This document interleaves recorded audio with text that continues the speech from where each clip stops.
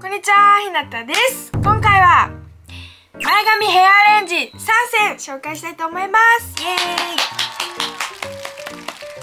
はい、ということでですね、ひなたチャンネルでは結構前髪のヘアアレンジの方法はあんまり紹介したことがないのかなと思ってて、なんか他の後ろ髪でヘアアレンジする方法とかはね何度か紹介したことがあると思うんですけど前髪はねないのでちょっと新鮮な感じなんですけどあのいろいろねめちゃくちゃ簡単ですごい可愛くて盛れるあのヘアアレンジ方法3つ紹介していきたいと思います。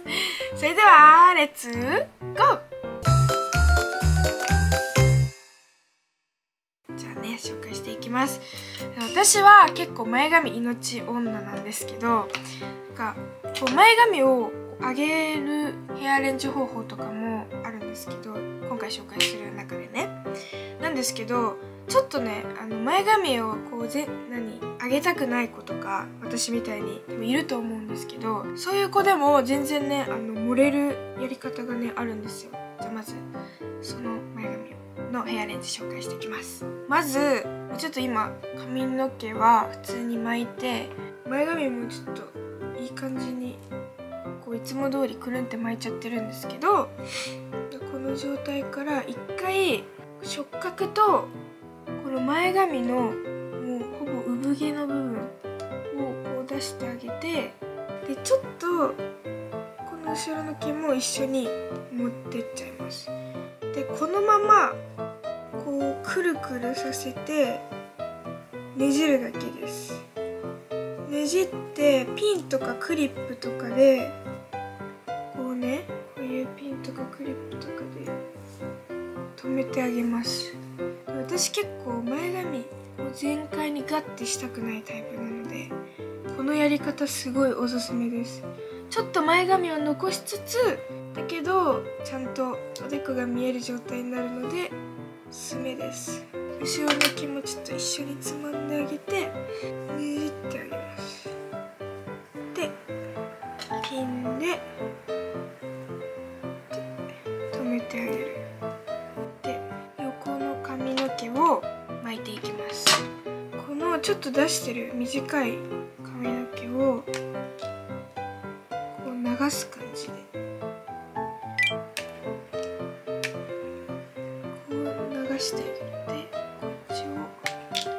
外巻きはいこういう感じで完成です。イエイ。ちゃんとヘアアレンジ感もあってだしめっちゃでもやり方はすごい簡単。前髪を産毛っぽいところをこう出してねじってピンとかクリップとかで留めるだけです。で前髪をちょっとこう八の字に流してあげるといい感じになります。はい。めっちゃ簡単でしょ？でしかもねちゃんと盛れるのおでこ見えるのに。次は流し前髪ですね。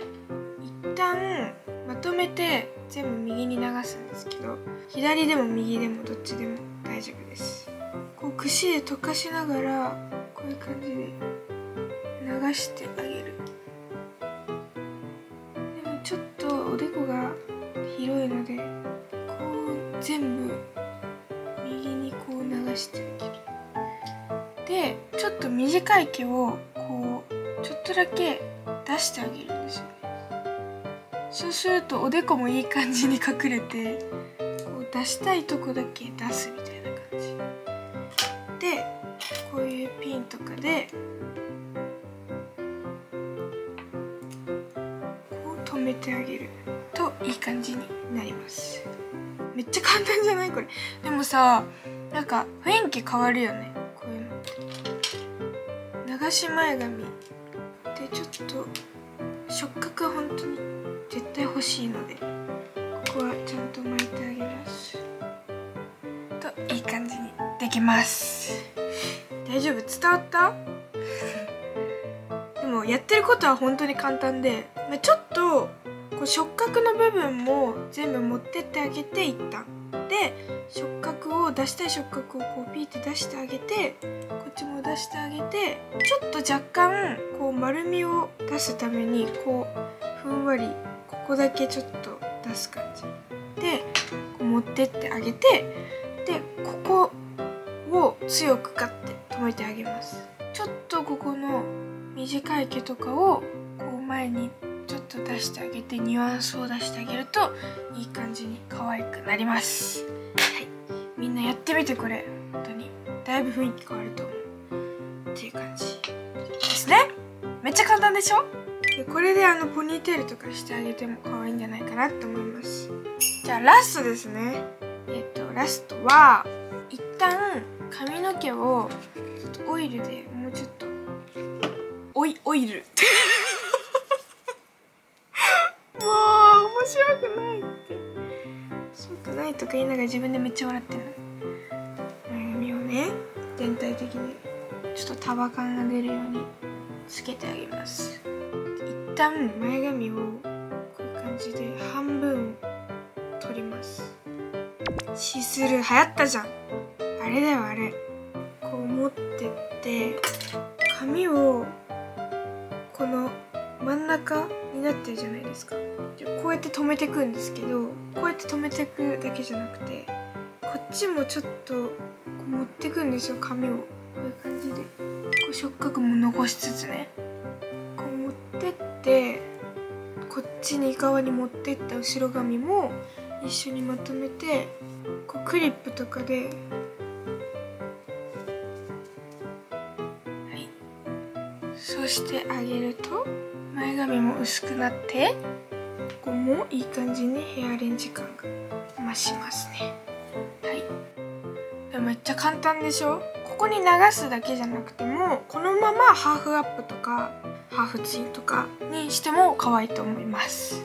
やっぱさ前髪がなんか細いのか色が薄いのかわかんないんだけどさああるみたいな状態になっちゃうんだよね。画面で見ると。はい。ということで今回は前髪のヘアレンジを紹介しました。っていう感じで私は、まあ、前髪がないと死んじゃう人なのでこううまく調整して横の産毛を出したりとかいろいろ工夫してやるとすごい可愛くなるのでみんなもね今回紹介した前髪のヘアレンジめちゃくちゃ簡単。もう誰でもできる。超簡単なのでぜひやってみてください。っていう感じで最後まで見てくれてありがとうございました。いいと思ったらこれチャンネル登録もよろしくお願いします。ではバイバーイ。